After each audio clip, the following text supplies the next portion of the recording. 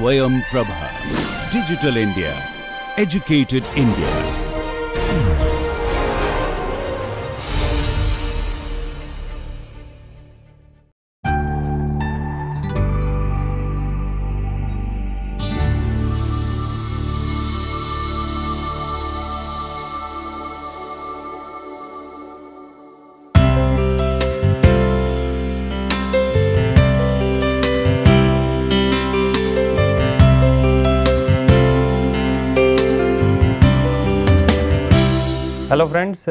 Start with a new module today on crystallographic texture. Okay, so the idea here is to make you understand the crystallographic texture and suppose if you see it anywhere uh, you should not be uh, leaving it that uh, maybe you are not able to understand uh, it completely. Okay, so it will not be a very exhaustive course on uh, how, how to do the texture analysis. Okay. Uh, the idea here is just to ma make you acquaint with the crystallographic texture so that if you see a, a particular representation of texture you should be able to understand and you should be able to uh, correlate with the mechanical properties if uh, there are any mechanical properties or any other properties are related with the texture. So, you should be able to understand that what uh, what the uh, the author is trying to uh, to convey. Okay. So, in that actually the first uh, basic of the, the, the understanding starts from the stereographic projection. So, that is what I am taking today as the first lecture in this particular module. So, basically texture just a, a quick uh, way, way to show, show you that what do we mean by texture is basically if you see a individual grain in a polycrystalline material. Okay, so, what is the identity of the grain is that how uh, the unit cell is oriented in, in the uh, in the grain. Okay. For example, in one grain the unit cell is like this, okay. in another uh, grain the unit cell may be like this, in another grain the unit cell may be like this. Okay. So, if suppose all the grains are random, all these unit cells in individual grain are randomly oriented, then we would call it as a weak texture or random texture. Okay. There is no particular uh, way the, the unit cells are arranged in, in, in individual grain. Okay. But if you find that some of the grain or a good number of grains okay, have a particular uh, orientation of unit cell okay, and th these, these, these are not required to be together.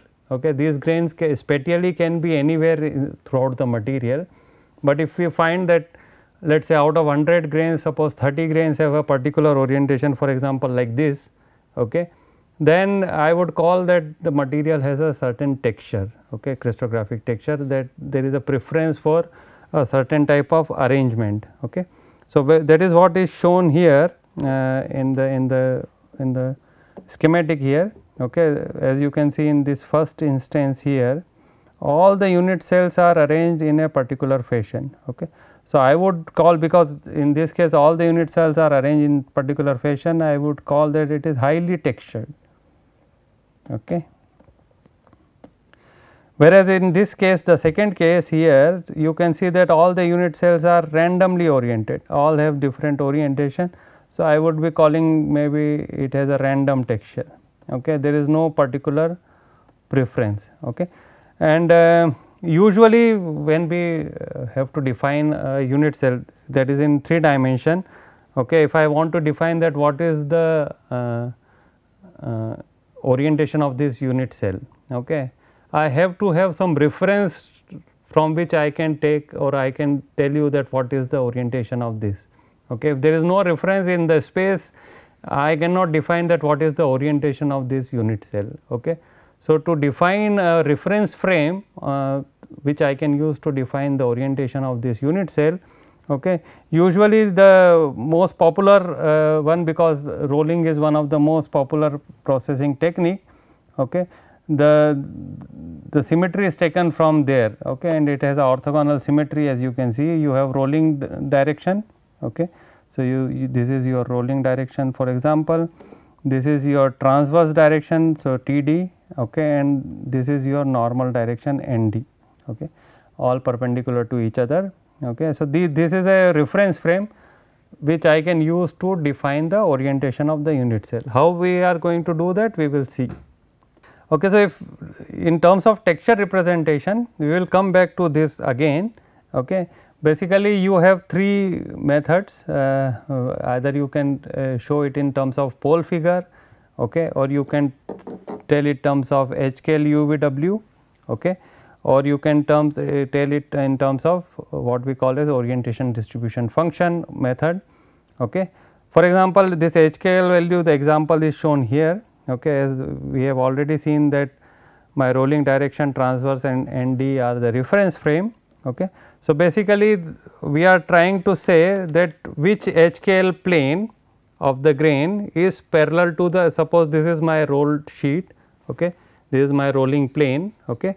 So which plane of this unit cell is parallel to the rolling plane? So suppose if i keep the unit cell like this i can say my 001 plane is parallel to the rolling plane and then i can say that which direction is parallel to the rolling direction okay so if you see my direction is either 100 or 010 is parallel to the rolling direction. If I put unit cell like this then 110 direction will be parallel to rolling direction.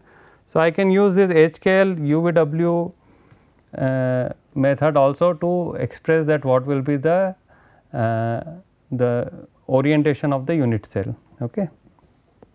But before uh, going further uh, because pole figure is one of the most uh, uh, uh, used and important way of representing texture.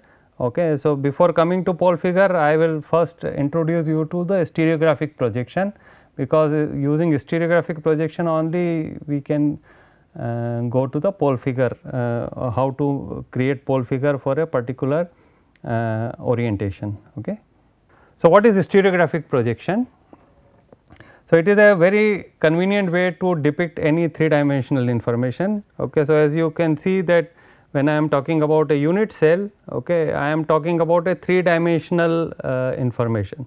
Okay. You have different planes in three dimension, okay. you have different directions, okay. some plane can be at angle like that, but I cannot do any analysis in three dimension like that. So, I have to depict all this information on two dimensions. Okay. And uh, when we are discussing about crystallography, okay, our main purpose is uh, about what are the angles between the different planes. Okay. I am not concerned with the dimension of the plane because it can be of infinite size, still uh, uh it, has, it, has no uh, particular meaning for, for us, okay. but what are the angles between different planes and direction that is of importance to us. So, we when we are doing this projection we want to preserve the angular uh, information. So, angular information should not be distorted. Okay. So, when we are doing this projection we are uh, preserving the angular relationship. Now, uh, uh continuing with stereographic projection basically every plane is defined by its normal okay and uh, these normals of different planes okay are starting from uh, one we call as sphere. I will tell you that what do we mean by this reference sphere. Okay. Uh, actually, we are saying that all the normals to the planes are, are starting from the center of a reference sphere. Okay. And uh, what these normals are doing? They are intersecting the surface of reference sphere in a set of points which are called poles okay just uh, bear, bear, with me I will explain all these things uh, to you in, a, in an animation right now. Okay. So, basically if I take a unit cell like this, so you have a plane okay there is a normal okay.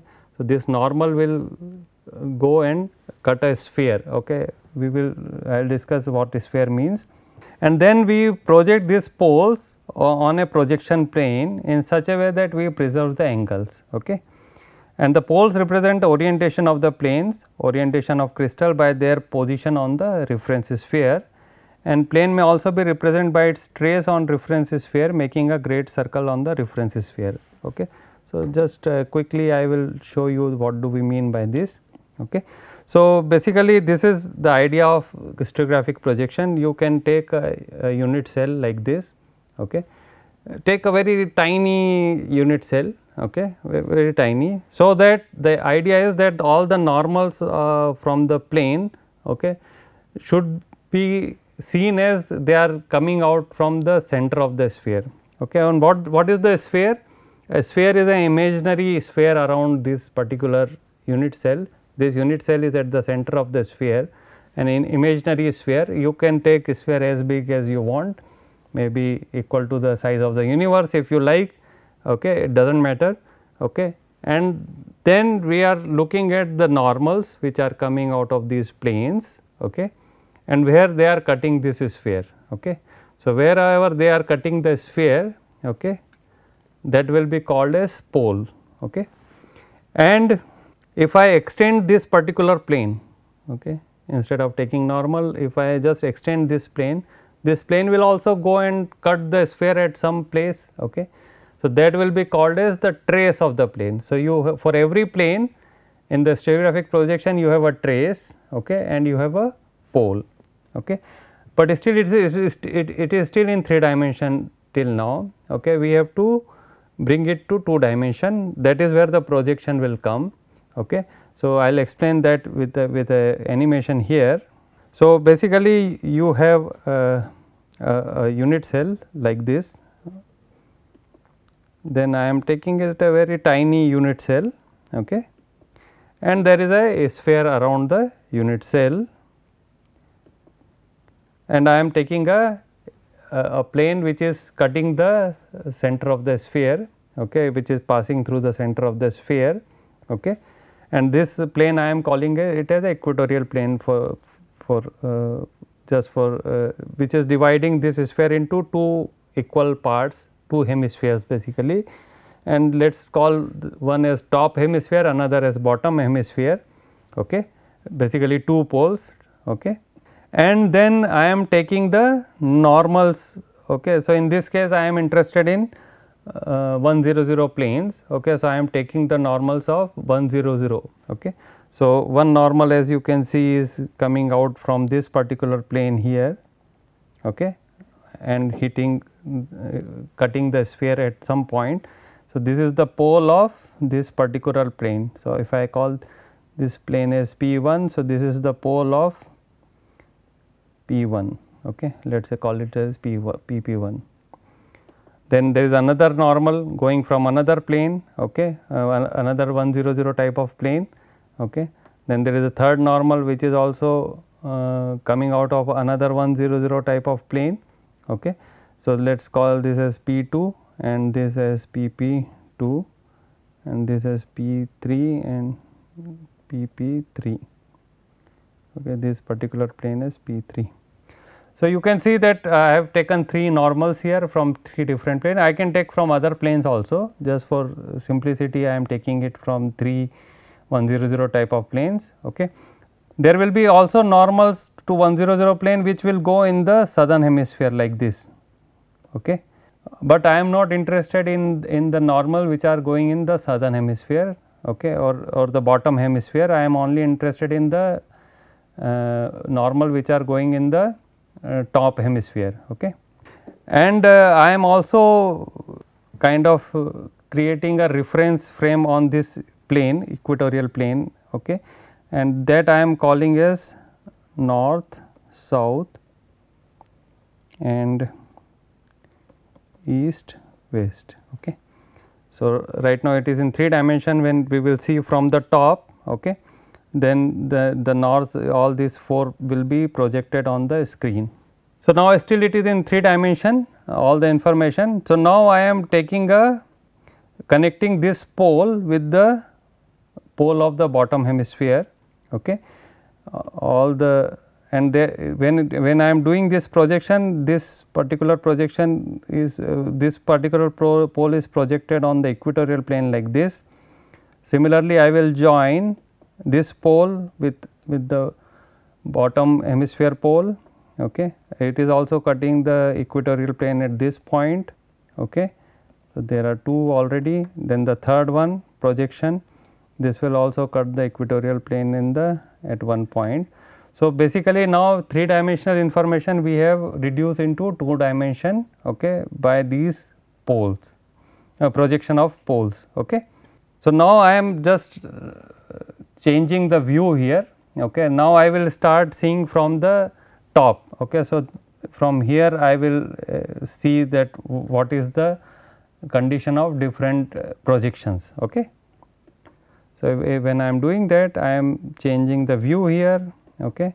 Now, I am looking from the top. So, T should come somewhere here at the center okay.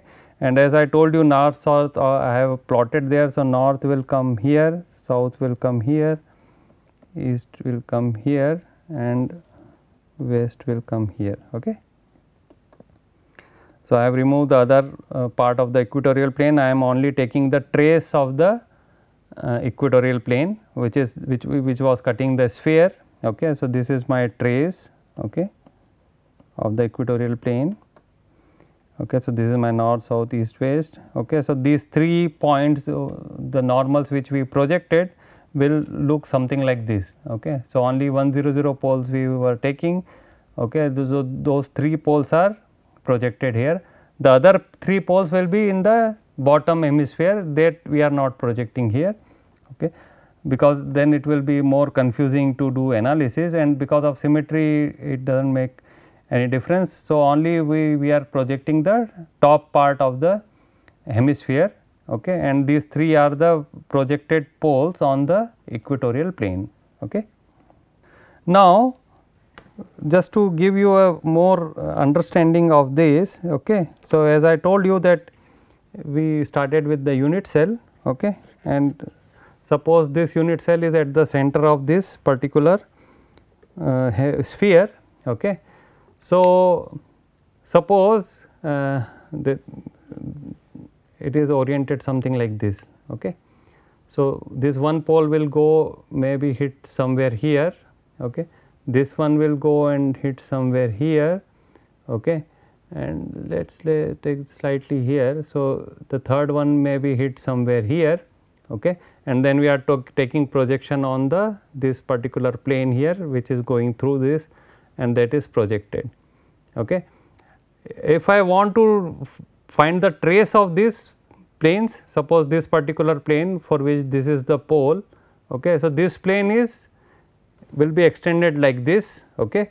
So, if I want to take the projection of this plane okay, it will be the plane on the reference sphere will be something like this okay and these trace will also be projected on the equatorial plane okay so on the equatorial plane okay how it will look like i am just showing in you in this particular slide here okay so this is a plane okay for which this is my pole p1 okay and this is the plane which is extended and when it is cutting the sphere it will form a projection like this. Okay. This is another plane for which this is the pole P 2 and this is the another trace for that okay, pole and then the, this is the angle between the two P 1 and P 2 I will show you how to find this angle between two, two planes. Okay. So, right now it is a, an angle on another circle okay, where we are finding the angle between these two pole. Okay. So, this is how you can find pole and trace of the plane. Okay, so, when when you when you have this kind of stereographic projection okay we, we define two types of circle okay and this is very close to what you see on the on the atlas okay that you have some what we call as great circles and these circles are the one which for which the center coincide with the center of the reference sphere and some are small circle for which the center does not coincide with the center of the reference sphere. Okay. And uh, as you can see all these are actually great circle, okay. this one, this one because their center and the center of the sphere are same. Okay. So, all the angular measurements actually we do on the great circle. Okay. We will I will show you that how we can do that. Uh, in the uh, in the next lecture. Okay. First uh, let us see that how this particular uh, uh, the, the, circular uh, projection is can be divided into uh, multiple circles. For example, this is a right now a three dimensional uh, globe kind of sphere okay, and you can see that it is divided into different by different longitudes and latitudes. Okay. So, all the longitudes are the great circles. Okay. So, all these longitudes are great circle because their center and the center of the sphere are same. Whereas, uh, all these latitudes are small circles their center will be somewhere here which is not going to match with the center of the sphere. Only one latitude is such that that its center matches with the center of the sphere and that is what we call as equator. Okay. So, very similar to what you see in the in the atlas. Okay. So, this is a typical. Uh, so, all this uh, basically traces also uh, which which we have plotted that can also be projected on the equatorial plane. Okay. So, if you do that they will form this kind of uh, great circles. Okay. So, that you can do a graduation here, okay. you can do a marking and that is how you can get a, a, a construction which we call as Wulff net. Okay. So, this Wulff net we, we are going to use for uh, doing all our calculation for the stereographic projection. Okay. So, it is uh, it has north, south, east, west and so on and uh, this particular one is graduated with 10 degree interval. Okay. So, every uh, two graduations have a distance of 10 degree. Okay. And uh, when you completely do these projections, okay, basically what you can get at the end of it is a, st a standard stereographic projection. Okay. So, what does it mean? For example, in this particular particular case, we are saying that it is a standard 001 stereographic projection of cubic crystal. Okay. So, when I am saying standard 001 uh, stereographic projection, I am putting the keeping the unit cell like this okay, at the center of the sphere. So, what will happen? The 001 will go and hit directly the top pole okay, and it will be projected exactly at the center because whatever is hitting right there and when I am connecting it to the bottom uh, pole okay, that will go through the center of the sphere itself. Okay. So, that will be obviously coming at the center okay, and that will be 001. Now, you can see that other normals suppose this is your 100 plane and this is your 010 plane the green is 100 plane so, 100 will go and it is going through the equator in the equator itself okay, and hitting the sphere at the end. Okay. And when I take the projection from there, the projection will be exactly at the equatorial plane itself.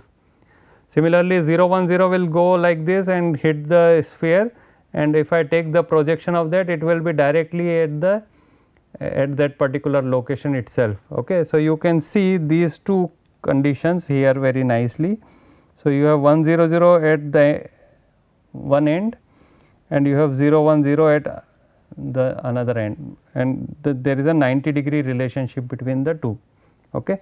The other poles I am not showing right now because in the next lecture we will see that how I can use this stereographic projection okay, to plot a standard stereographic projection like what you are seeing here. Okay. So, basically what you are seeing here is that all the poles are or all the planes are plotted on a 2 dimension and their angular relationship is preserved okay. and you can easily see that what will be the uh, using Wulff net what will be the angle between different planes okay. So, all the poles like 0 1 1 type okay, will be plotted here okay. you can see all these poles of 100 type 110 type then you have all the poles of 1 1 type these are the important planes for us. Okay. So, all these are plotted on a stereographic projection. Okay. So, in the next lecture I will show you that how I can use the Wulff net uh, to or how I can use this uh, stereographic projection to draw a, a, standard stereographic projection of a particular or orientation of the unit cell. Okay. And that once we understand that that will help us in creating a pole figure for a particular uh, particular orientation of the unit cell. Okay. So, I hope we, this is actually a, some some kind of imagination is required in 3 dimension. Okay. So, I hope you might have able to understand that how I can plot a standard uh, stereographic projection how I can do a stereographic projection plotting. Okay. And now, I will tell you how you can use this to create the standard stereographic projections. Okay. Thank you.